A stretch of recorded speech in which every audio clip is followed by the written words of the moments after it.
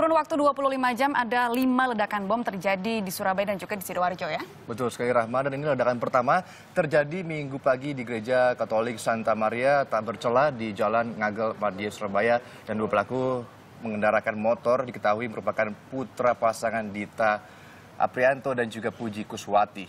Iya, tidak berselang lama bom berikutnya meledak di Gereja Kristen Indonesia di Ponegoro 146 di Jalan Raya Diponegoro, Surabaya. Pelakunya Puji Kuswati membawa dua putrinya. Puji ini membawa bom di pinggangnya.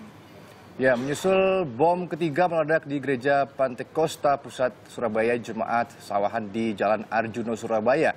Pelaku atas nama Dita Prianto membawa mobil Avanza berisi bom high explosive atau berdaya ledak tinggi. Ya, kemudian malam hari eh, bom meledak lagi di Rusunawa di kawasan Wonocolo, Sidoarjo. Tiga terduga pelaku teror yang merupakan satu keluarga tewas, yaitu terduga pelaku teroris bernama Anton beserta istri dan anak pertamanya. Ya, ledakan terjadi lagi pada Senin pagi di Polrestabes Surabaya. Bom meledak di pos pemeriksaan depan markas Polrestabes. Dari rekaman CCTV, bom meledak saat dua motor masuk ke pos pemeriksaan, empat orang pelaku tewas.